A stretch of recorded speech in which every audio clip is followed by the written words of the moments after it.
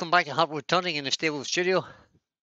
Today's project is a repeat of the one that went wrong the other night. So let's go over to the lathe and let's have a look at the piece of wood. So on the lathe we have a nice piece of cherry. About the same size as it was yesterday. Let me just quickly confirm that for you. It's about 9 inches long and it's about 7 inches ish wide. 6.5, 7 inches wide. I've already done my Forstner bit. I've already drilled the hole for the uh, woodworm screw. So now all we have to do is get the, uh, the Robert Sorby chuck. So a little Patriot chuck that we've just got. Pop that on there. And we'll fit in this woodworm screw. Now this woodworm screw is fitted in so the jaws fit into this groove. Flat's machined on it and the corners are kind of rounded. So that just fits in so that when you close the jaws, the, the edges of the jaw fit into that groove.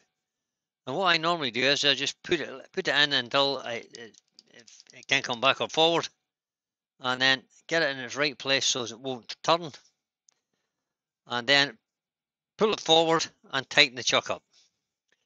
So that pulling forward action saves you when you put the wood, the wood on and screw it up. That that would pull it forward anyway, but that stops it from pulling forward. So just tighten on both sides of the uh, chuck, as I always do.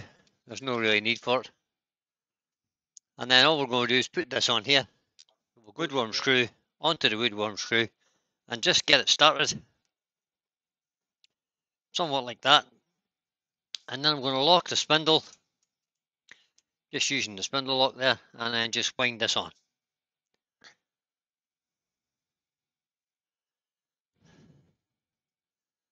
And we just wind it on until it stops and becomes tight.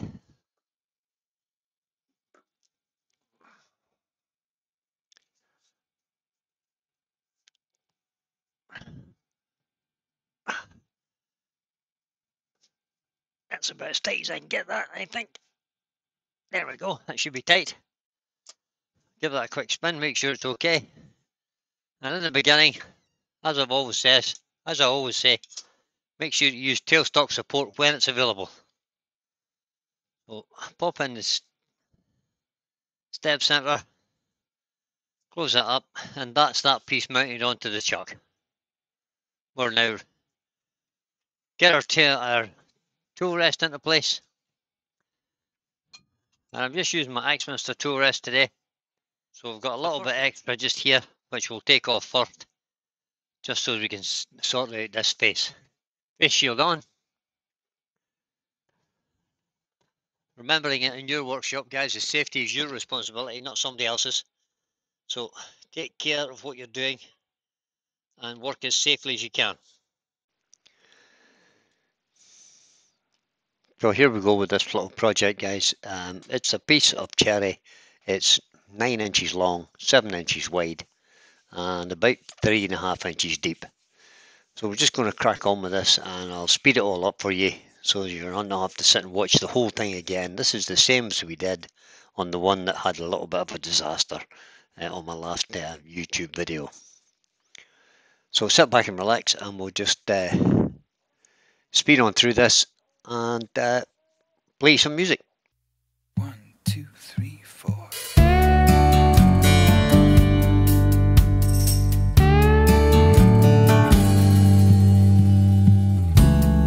What about the world we both believed in? What about the word that made it so? What about your blood boiling crazy? When you're just aching for her love like you could blow like a broken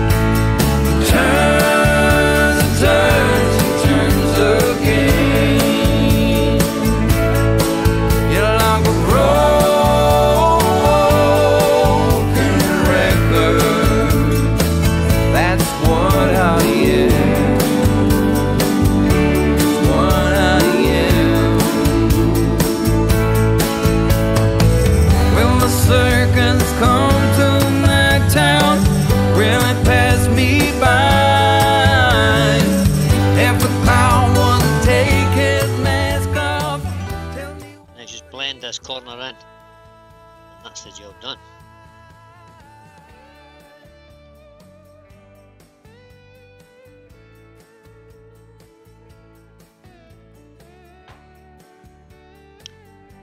Time for sanding. So I'll just quickly sand this up and I'll come back to you when the sanding's finished.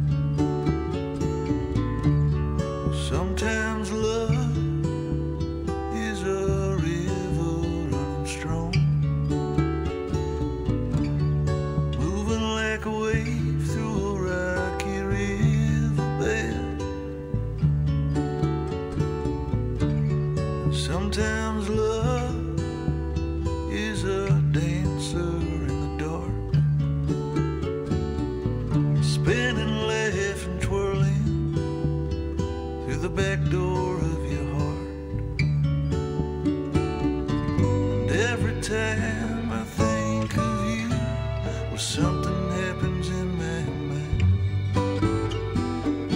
And every time I try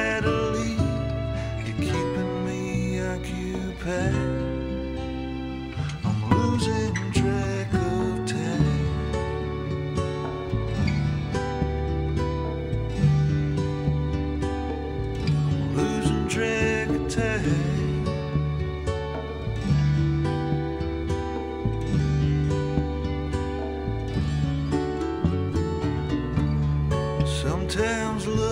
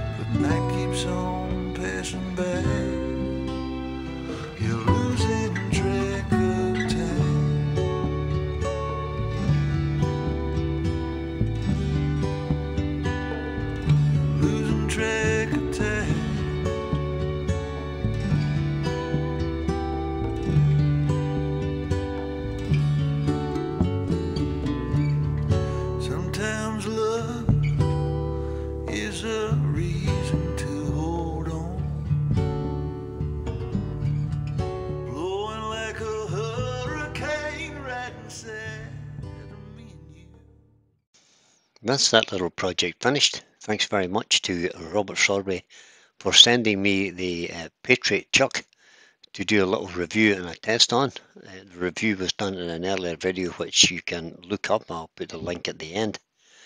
Uh, and most of the tools I used today were Robert Sorby as well. Good tools and a super little chuck. So thanks for watching.